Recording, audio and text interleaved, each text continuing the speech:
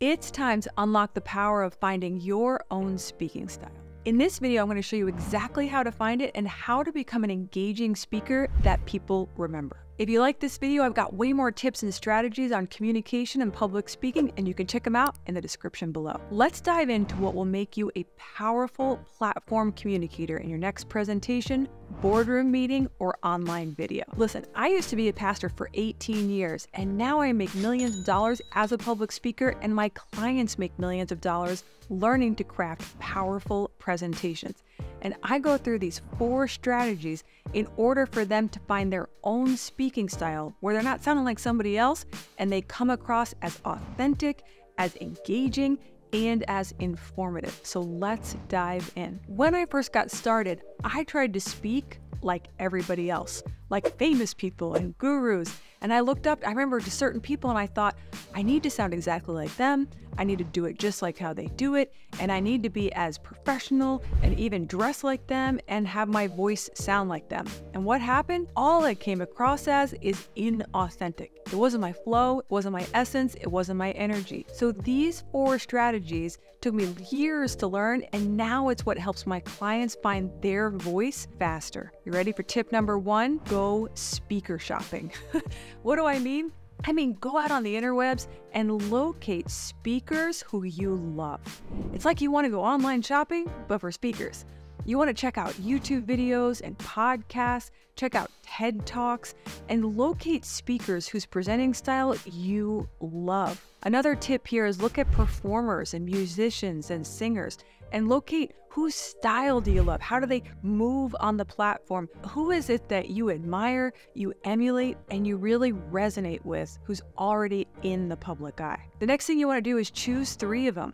What we're going to do is we're going to kind of merge those identities according to a process called alter ego, which is an incredible book that I'll link up in the description below. And in that book, it identifies how athletes create an alter ego. When they go into the arena of their sport, they create an alter ego. You'll also know that Beyonce has created Sasha Fierce on the platform. It's a different version of her, and I like to say it's like you times two. So, what we're gonna do is we're gonna take your top three and merge them into what your alter ego is going to be. Just go with me here. Because the reason why you resonate with them and the reason why you like them and the reason why you think that they're amazing is because there's something inside of you that's mirroring that in them. You wouldn't be able to see that quality in them if you didn't possess it yourself. So, what we're gonna do is we're gonna draw out that powerful speaker from within you by locating your top three speakers you go shopping for. So, who is it that you love? Let me know in the comments below. I'll let you know that one of the performers I look up to is Jennifer Lopez. I studied a documentary called Halftime where I watched how she moved inside of a performance and I started to adopt those own moves as I presented on the platform. So, who's it that you love? Drop in the comments below. Number two is study their speaking techniques. For public speakers whom you admire, I'd encourage you to look at their speeches, transcribe them if necessary, so that you can study the language patterns. For instance, one of the speakers that I looked up to, and maybe you do too, is Dr. Martin Luther King Jr. His I Have a Dream speech, so epic. If you study it on YouTube, you can start to see the emotion and the power. And he's using some techniques in there that are just crazy pants awesome. One of the techniques that he used when I studied his speech is anaphora. Anaphora is where you use the same phrase at the beginning of a sentence over and over and over. I have a dream today. I have a dream. I have a dream. This repetitive phrase. Anaphora is used by powerful speakers to create a rhythm, a momentum, emotion, a musicality when they deliver. It is so beautiful to listen to and so moving. When you locate these speakers, start to study what techniques are they using. Like I didn't know what anaphora was. I was like, what is the phrase is being used over and over? I studied. It was anaphora. In the Greek, it means to call back to, to call back to. So they're calling the mind back to this powerful phrase. The cool thing about anaphora is, is people will remember that phrase because of that repetition. Isn't that cool?